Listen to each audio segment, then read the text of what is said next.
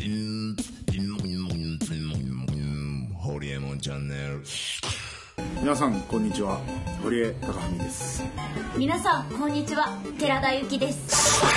それでは今日の質問です日本マクドナルドの低迷は本当に原田栄子氏に原因があるのでしょうかさサラ・カサノバに社長交代したのは2013年8月なのに今の業績の急降下を止められないのはカサノバの手腕に問題があるのではないでしょうか。原田氏がまだ社長を続けていたなら今の急降下を招いていなかったと思いますという質問です。はい今日も質問に答えていきたいと思いますが。はい本日のゲストは小田義雄さんとアイスマン福留さんです。はいということでまず質問からうん答えからいきたいと思います。私はこう答えました、えー構造的な問題でしょうね、えー今の価格は安すぎるけど安いイメージが定着しちゃってると思う、マクドナルド今の時代に中途半端よね、うん、たまに食うとやっぱ美味しいけど僕ら世代はね子供の頃からやっぱり食べてるからね、ん。今の時代ってさやっぱコンビニでその安いハンバーガーとかっていうのを作って出せるから、そういうので慣れちゃってると、子供の世代とかってひょっとしたらもうマクドナルドじゃなくなってるのかも。ねしかもだから今アメリカとかで伸びてる業態っていうのはインアンドアウトとかシェイクシャックとかそういうこうちょっと値段は高めなんだけど、マクドナルドが2ドルで食えるんだったら、まあ、4ドルとか5ドルぐらいするようなところで,、でしかも従業員の満足度が高いっていう、だからインアンドアウトっていうのはすごく別にね、そんなにめちゃくちゃじゃあプレミアムかって言ったら、日本でいうところのモスバーガーとかの方が圧倒的にうまいんだけど、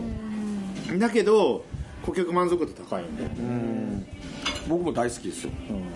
店長のみなんか名ばかり店長問題とか、最近やっぱりその労働問題にすごくフォーカスが当たっていて、まあ、すき家とかの問題もそうだし、ワタミの問題もそうなんだけどあの低価格業態に勤務してる人たちのモチベーション低下みたいな問題が割と結構お客さんにもこうなんか伝わってきてるというか、まあ要はや安すぎるんだよね。ね安すぎるよね。えでも逆にセットを買うと意外に高いんですよね。いやだから普通にそうそうそう。700円とかするんですよ。だったらもうだからまあ。100円出して800円とかで普通のお店であランチ食べちゃうよって私は結構思っちゃいます。あんまり安いイメージがそこまでなくて。一時期100円マーク100円マークの100頃円マックは安いと思ったけど、なんか別にセットとかで食べるなら、マックに700円かけんだったら普通にランチ行っちゃそうよってなるんだ。思っちゃいます。へえまあなんかちょっと庶民派感覚を持ちまだ持ってますね。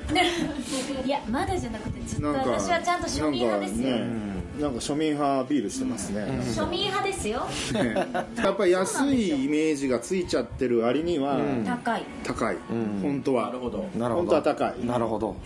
そこじゃないですかね。中途半端だよね。中途半端しちゃったよね。その点ザ・ステーキは高級業態だよね。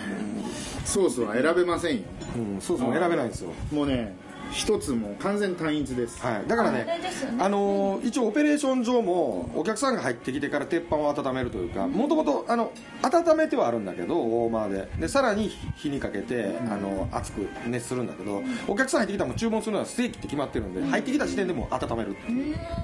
はいということでね、まあぜひ来ていってください。はい、ザ・ステーキにも皆さん来てみてください、はい。ということでアイスマンさんも告知を、えーアイスクリーム博覧会 iPAC2015 ゴールデンウィークにラフォーレミュージアム原宿で開催するのでぜひアイス好きの方は来てください。はい、ということで、はい。皆さんぜひラフォーレにね足を運んでみてくださはい。い。1泊5月2日から6日までですね、ラフォーレ原宿でやってますのでぜひ行ってみてください。ということで本日もありがとうございました。ありがとうございました。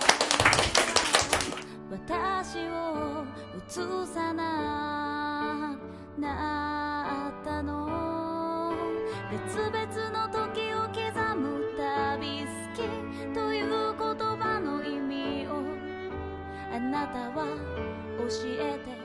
メルマガの登録は